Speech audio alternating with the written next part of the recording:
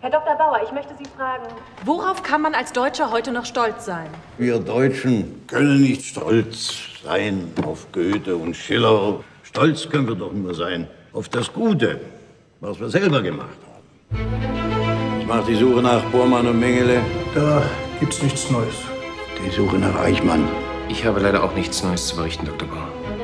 Er kann nichts machen, er ist vollkommen isoliert. Unterschätzen Sie ihn nicht. Ein Mann glaubt, Adolf Eichmann in Argentinien entdeckt zu haben. Obersturmbannführer der SS.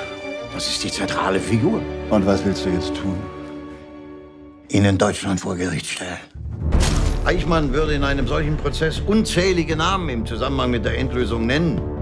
Bauer hat eine neue Fährte und ich weiß nicht, wen er im Visier hat.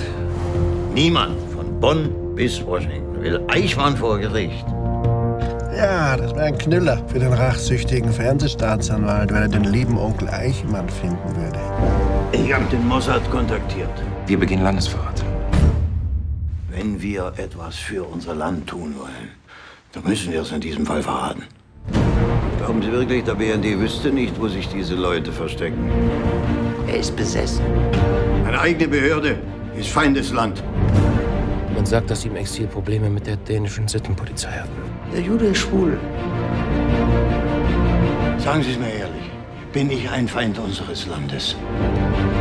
Geben Sie nicht auf, Fritz. Bitte. Wir müssen unser Land vor seinen Feinden schützen. Ja, das ist wohl richtig. Interessieren sich für die Jagd? Ja, aber nicht auf Tiere.